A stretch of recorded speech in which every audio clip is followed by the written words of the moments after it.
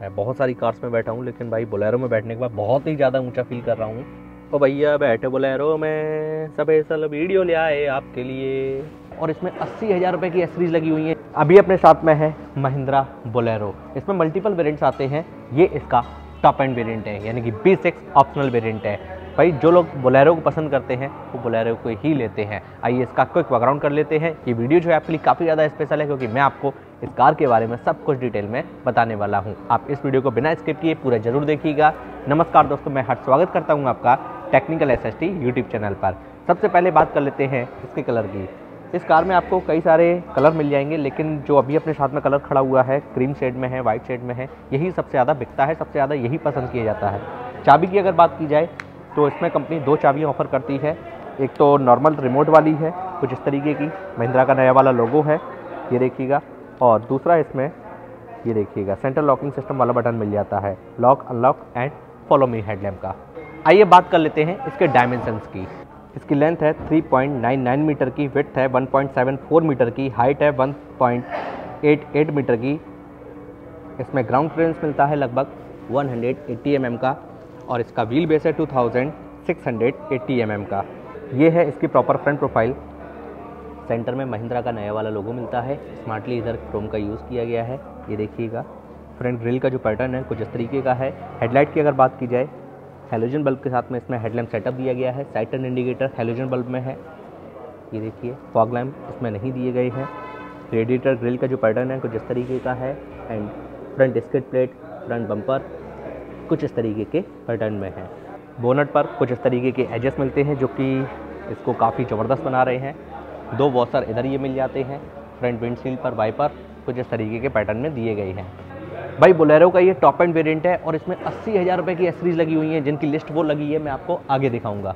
बात करते हैं इसके फ्रंट सस्पेंशन की। फ्रंट में कंपनी ने F S coil spring suspension लगाकर दी है। पंद्रह इंचेस के इसमें एलॉय भी लगे हुए हैं। एलॉयस का पैटर्न जो है कुछ इस तरीके का है। सेंटर में महिंद्रा का लोगो लगा हुआ है। सी कंपनी के बेस्ट क्वालिटी के ट्यूबलेस टायर ऑफ़र किए हैं एंड प्रोफ़ाइल इसकी है two fifteen seventy five R fifteen और इसमें फ्रंट में डिस्क ब्रेकिंग सिस्टम मिलता है। फेंडर का जो पैटर्न है, कुछ इस तरीके का है। साइड टर्न इंडिकेटर इधर ये साइड में दिए गए हैं।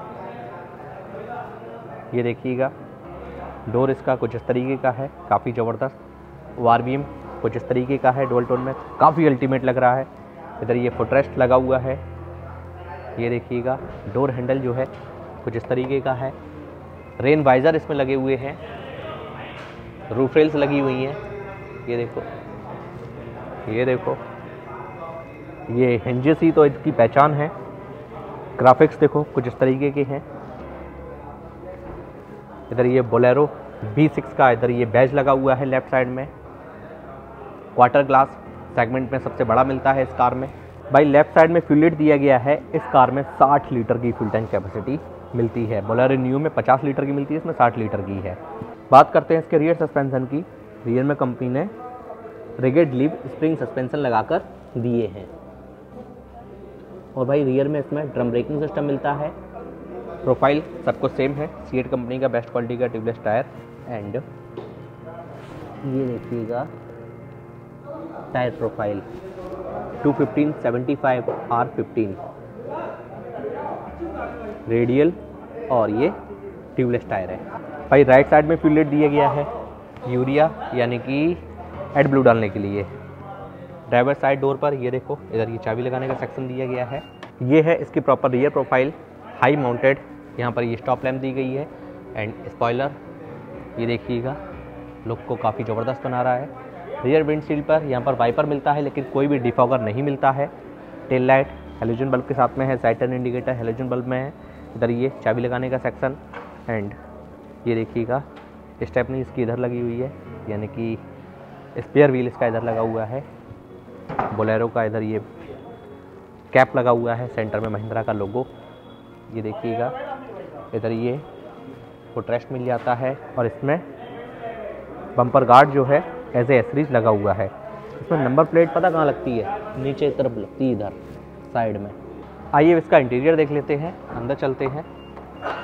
ये देखिएगा, कुछ इस तरीके का है डोर इसका। डोर को ओपन करने के लिए ग्रैब हैंडल इधर ये, नीचे की तरफ़ कप होल्डर थोड़ा बहुत स्पेस है। इधर ये देखो, थोड़ा बहुत स्पेस इधर। और इंटीरियर इसका कुछ इस तरीके का है। सीट की हाइट एडजस्ट कर सकते हैं क्या? नहीं नहीं हाइट एडजस्ट करने के लिए नहीं है रिक्लाइन करने के लिए। इधर देखो, पूरा का पूरा लोहा लाट सिस्टम इधर दिया गया है। ए बी सी पैडल्स मिल जाते हैं। इधर ये देखो लाइट कंट्रोल करने के लिए ideal start stop button A C vent इधर ये दिया गया है। राइट साइड में इधर ये देखो इग्निशन को दिया गया है। फटाफट से मैं चाबी को इंसर्ट कर लेता हूँ। स्टेयरिंग व्हील का जो पैटर्न है, कुछ इस तरीके का है। सेंटर में महिंद्रा का लोगो है। एंड लेफ़्ट साइड में वाइपर कंट्रोल लीवर है। राइट साइड में लाइट कंट्रोल लीवर दिया गया है। और इसकी चाबी को जैसे ही मैं ऑन करता हूँ, वैसे इसके मीटर की जो स्टार्टिंग है कुछ इस तरीके से होती है, ये देखो डिजिटल मीटर दिया गया है इसमें। यहाँ पर काफ़ी सारी इन्फॉर्मेशन हैं, इधर ये काफ़ी सारी इन्फॉर्मेशन हैं। डैशबोर्ड तो इसमें नाम मात्र के लिए है, कुछ भी नहीं है। ये देखो को ड्राइवर साइड इधर ये देखो क्रैब हैंडल ये सनसेट दिया गया है। कोई भी यहाँ पर मिरर नहीं है। इधर ये देखो ऑटो डिमिंग आई आर भी हम कहाँ मिलेगा भाई इसमें? मैनुअली डिमिंग है। ड्राइवर साइड सनसेट बिल्कुल ही लिफाफा दे दिया है। और इधर ये लाइट ऑन ऑफ़ करने के लिए हेलोजन बल्ब वाली है। ये देख लेते हैं ग्लब बॉक्स इसका। कुछ इतना स्पेस इसमें मिल जाता है। इसमें दो चाबी ऐसी पड़ी है यार। इसकी चाबी हो सकती है? ये देखो सेंटर में दो एसी वेंट नीचे की तरफ़ यहाँ पर ये म्यूज़िक सिस्टम दिया गया है।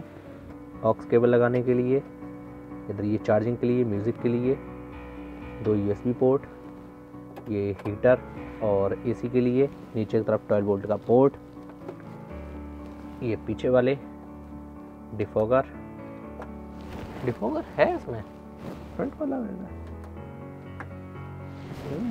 तो ग्लास में तो नहीं है। ये हाँ हाँ हाँ हाँ ब्लोअर को कंट्रोल करने के लिए कुछ इतना स्पेस इधर मिलता है फ़ोन रखने के लिए।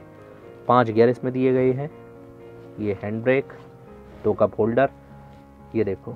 महिंद्रा अपनी Bolero Bolero Neo, Scorpio Scorpio Classic में यहाँ पर ही विंडोज़ कंट्रोल बटन देता है। ये देखिए, इधर कुछ इतना स्पेस मिल जाता है।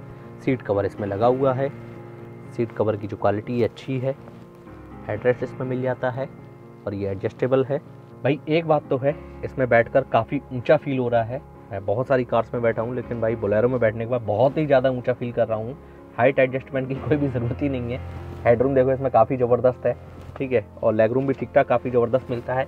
रफ एंड टफ गाड़ी है भैया बोलेरो ये बात तो है, और मैंने आपको इसकी फ़र्स्ट रो दिखा दी है। आइए बाहर निकलते हैं, चलते इसकी सेकंड रो में, देखते हैं वहाँ क्या कुछ मिलता है, कितना स्पेस मिलता है।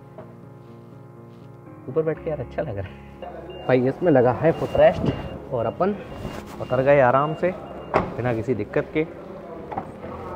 सेकंड रो में, यहाँ पर ये चीज़ काफ़ी अच्छी है। ये देखो भाई कंपनी बोलेरो में, पीछे वाले दरवाज़ों में यहाँ पर ये बटन दे देती है। लेकिन भाई स्कॉर्पियो क्लासिक में ये बटन रियर वाले डोर पर नहीं मिलता है। बोलेरो मिल रहा है, काफ़ी अच्छी बात है। इधर ये सॉफ्ट टच ये देखो, काफ़ी ज़बरदस्त है आइए, अंदर बैठते हैं। अरे भाई ड्राइवर वाली जो सीट है, मैं पूरी की पूरी पीछे कर देता हूँ। जिससे क्या है, एक आइडिया लग जाता है लेग रूम का। ये देखो भाई। कुछ इतना स्पेस मिल रहा है ड्राइवर वाली जो सीट है, पूरी की पूरी पीछे आने के बाद में। सेंटर में हम इसमें बिल्कुल भी नहीं है। ए सी वेंट वगैरह इधर कुछ भी नहीं है। ठीक है को ड्राइवर साइड आप देख लो। कुछ ऐसा है। इस साइड में कुछ इस तरीके का इंटीरियर है इसका।